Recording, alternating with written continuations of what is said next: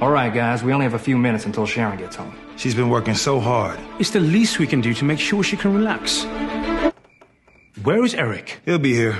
So Sharon's daughter forgot about her diorama for her science project that's due tomorrow. Got it. And there should be two loads of laundry. Actually, there were three loads. Where is Erik?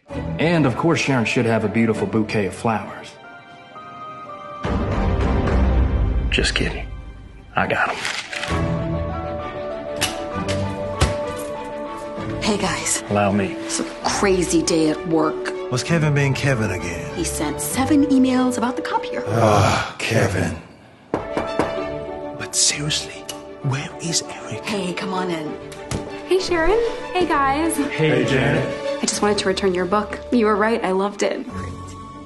Erik! Harlequin, your happy place.